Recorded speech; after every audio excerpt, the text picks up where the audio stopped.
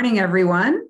Welcome to the 2023 Telehealth Summit brought to you by the California Telehealth Resource Center. We're glad you could join us today for today's session, listening to consumers, telehealth experiences of Californians.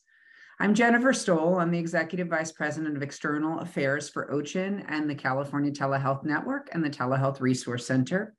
And I'll be introducing the next session today. If you go to the next slide. Before we start, um, we wanted to share a little bit more with you about the California Telehealth Resource Center. We have been federally funded in California since 2006, helping all California providers and patients and communities access and get the most from telehealth and virtual care throughout the state. We provide on demand services, resources, and insights to be able to help better support your work.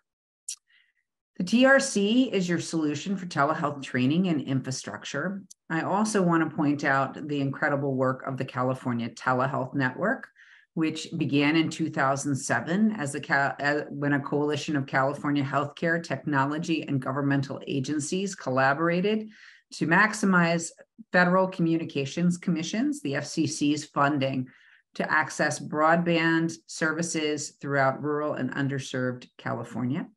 It's a statewide broadband network dedicated to expanding healthcare access in rural and medically underserved communities. And the goal is to improve clinical outcomes and reduce cost. Um, the California Telehealth Network is a leading consortia um, that is all about access to healthcare through innovative use of technology, which includes telehealth, te- telemedicine, and health information exchange, which is a very timely topic in California. The Telehealth Resource Center is housed within the Telehealth Network. And on in May 2017, CTN and to the TRC became part of the OCHIN family organizations. OCHIN is a not-for-profit we're a healthcare innovation center designed to provide knowledge solutions that promote quality, affordable healthcare. Um, and um, we are very, very proud to have them as part of the uh, TRC, uh, uh, part of the OCHIN family.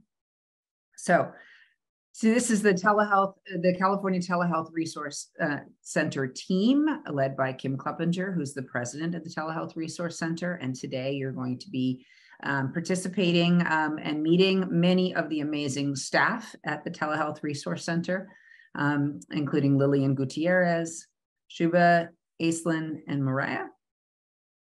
Next slide. I don't think uh, everyone on this call needs to be shared with why telehealth and virtual care is so important from the continuum of healthcare delivery from patients, communities, primary care providers, specialists, and health plans. But in case that uh, you are unfamiliar with telehealth and this is the first time you're being exposed to it, it's a very, very powerful tool um, to be able to deliver care to communities all across the state of California, um, especially in the most underserved communities. So we're very proud to be part of this community. Next slide, please. And the beauty of telehealth is that it's here to stay.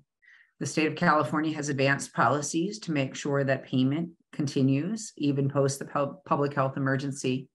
But telehealth, as you know, rapidly expanded during the pandemic, the COVID 19 pandemic, and was able to actually increase access to a variety of clinical services that have not historically been virtual care friendly. We were innovating on the fly, and it's really incredible work done by all the healthcare community throughout the state of California during the pandemic. Many of the waivers, even after the PHE ended, are still available until the end of 2024, as well as in the state of California, as I mentioned, the um, in Medi-Cal policy and commercial policies have allowed for payment to continue as we move forward, um, even after the public health emergency. And now that the telehealth has been utilized, patients and physicians don't want to go backwards. They want to continue to have access to virtual care and be able to provide services either telephonically or versus in telemedicine to be able to reach their communities and their patients. Um, and patients prefer it. And we continue to see uh, strong evidence of the need to continue to have access to telehealth, which is very exciting. So next slide, please. All right. So you're, you're going to hear uh, throughout the next two days at the conference that there are some barriers um, uh, to telehealth, and there are resources also available through the TRC to support from broadband access to operational clinical support and program sustainability. We are here to support you at the SCTRC. Again, we are your federally funded support network in California to help really drive access to virtual care and telehealth services um, and be able to maximize those programs for stability, sustainability, and patient care. Um, a little bit about the CTRC's continued impact. The CTRC actually improved access to care to 30% more people this year from previous years, which is something we are extremely proud of. Um, we have served over 16,000 individuals since 2019 created numerous informational opportunities and educational opportunities through webinars and blogs, newsletters, guides, and courses. We've provided over 1,700 hours of technical assistance and training since 2020. And we've seen a continued demand um, of sustained increase for telehealth.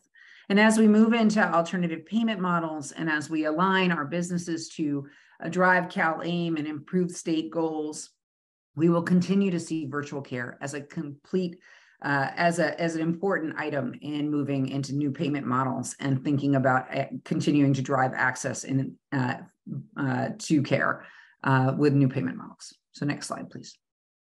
Okay, and again, a little bit about how they can how the telehealth resource center can support you as a California provider, as through access to evidence-based practices, leading edge solutions um, to really understand and pivot to the needs of um, your patient population as well as the needs of the state to be able to drive additional care. We can support your telehealth journey through a variety of services from technical assistance to training to on, on demand library.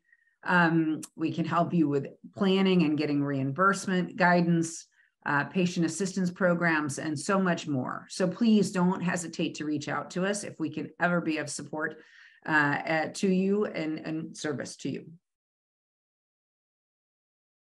And here's a list of examples of uh, resources the Telehealth Resource Center can provide. Again, uh, a library of telehealth tools and resources. Um, and so please don't hesitate to reach out to us if we can be in service.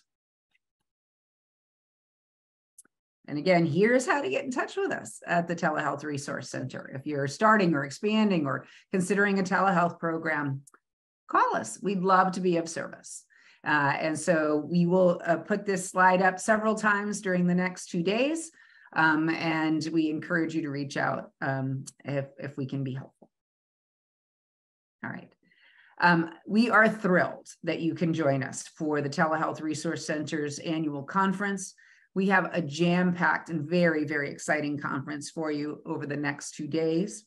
We have some amazing speakers that will provide insights, guidance, and learnings that um, you will be able to take into your into your operations, into your practices, and really improve access to virtual care and new thinking.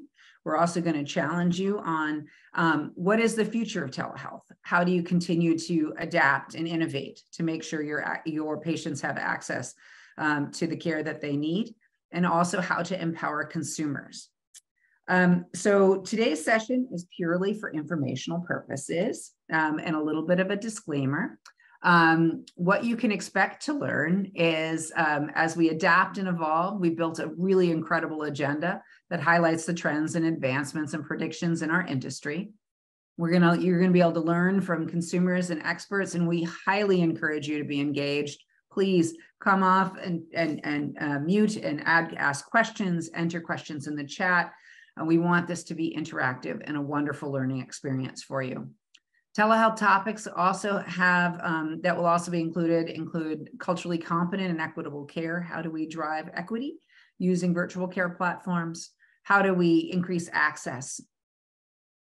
Um, uh, please uh, increase uh, rural healthcare utilization and increase access to our rural communities. Virtual prescribing, how do we expand access to school based care, innovative technology, and a whole lot more. So, again, we really appreciate you being with us and spending time Um, and uh, we want to thank again all of our sponsors, uh, incredible sponsors. We can't do this without you. Uh, from the American Heart Association, Foley and Lardner, LLP, uh, Acentra Health, the California Healthcare Foundation, and OCHIN. So thank you all for your your sponsorship. And um, again, we can't do this without you. So thank you, thank you.